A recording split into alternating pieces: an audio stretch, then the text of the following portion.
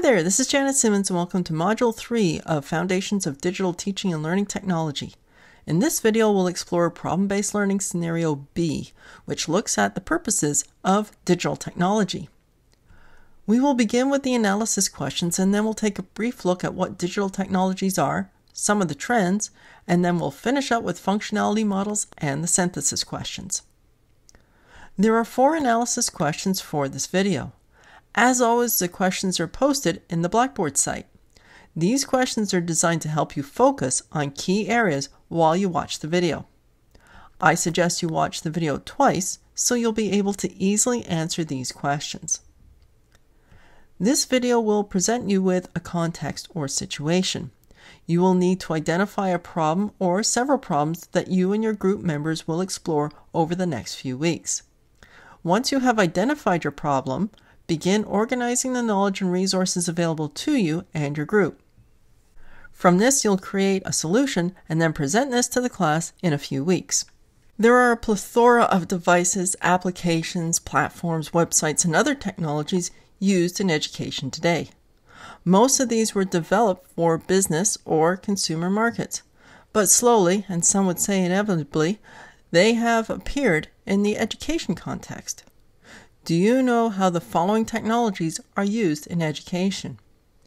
There is Coursera, BYOD, which is an acronym for Bring Your Own Device, the Khan Academy, social networking, CMSs or Content Management Systems, MOOCs, which is short for Massive Open Online Courses, clickers, and finally we have interactive whiteboards.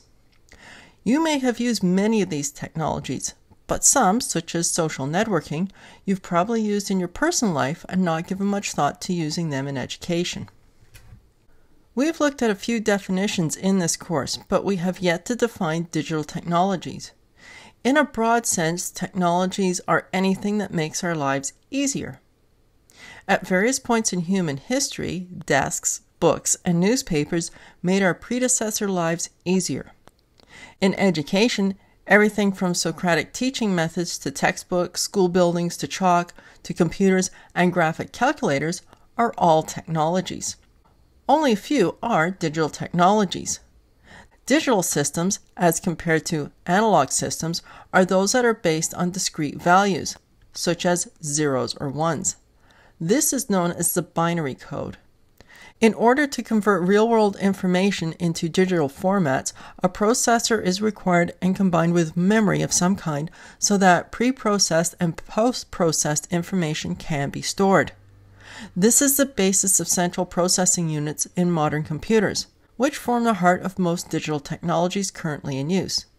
Additionally, they usually have some inputs and output systems. Regardless of the type of computer, whether it be mainframe, personal computer, or the newest mobile device, when distilled to the most essential characteristics, computers can only do three things transmit, store, and process information. These characteristics are based on standards from the Institute of Electrical and Electronic Engineers, the IEEE. This global organization is responsible for establishing standards for all electronic hardware. These transmit, store, and process characteristics define what a computer can do and determine, to some extent, what can be done with computers and other derivative technologies. On the basis of these characteristics, computers and other digital technologies have developed over the past decades. The next few slides will provide a brief overview of the historical development of digital technologies. The developmental history of digital electronic computers can be categorized in three main eras, each with their own particular characteristics. The eras are as follows. The first era is mainframes, which is characterized by rudimentary interfaces, rudimentary networks, standalone programs. These were used by large corporations only. The next era is personal computers. The characteristics of this say that it's progressed from command line interface to current graphical user interface or GUIs. We have software suites such as WordPerfect Office, Microsoft Office, and OpenOffice. Now, although originally developed to link mainframes, the World Wide Web, and the Internet, these evolved and expanded to connect millions of PCs. Also, these computers were for individual use both in businesses and for personal use. The third era is mobile devices. Concepts of apps arise, allowing for the independent development and sale through online stores. Data and information become independent from the apps used to create and format it. Cloud computing emerges, leading to the obsolescence of portable media and the separation of enterprise and consumer use of computers. If we look at digital computers from a high level, we can identify several trends. There has been a gradual decrease in size of computers to the point where if you consider a smartphone to be a computer, they have become wearable technology. Operating systems and other software packages were traditionally bound to hardware, but are now available for a wide variety of platforms, including Linux, Android, Windows, Apple, and BlackBerry, and include offerings from commercial and open source organizations. Computer languages have developed from machine language to sophisticated object oriented high level languages that are increasingly powerful. For example, Hypertext Markup Language 5, known as HTML5, incorporates supports for interactive sessions on web pages without the need for add ons such as Flash. Sophistication, power, variety, and low price have led to higher levels of personal freedom, usage, and competency within the lives of humans. We are also moving away from the need for humans to adapt themselves to computers to computers being able to adapt to fit lives of humans.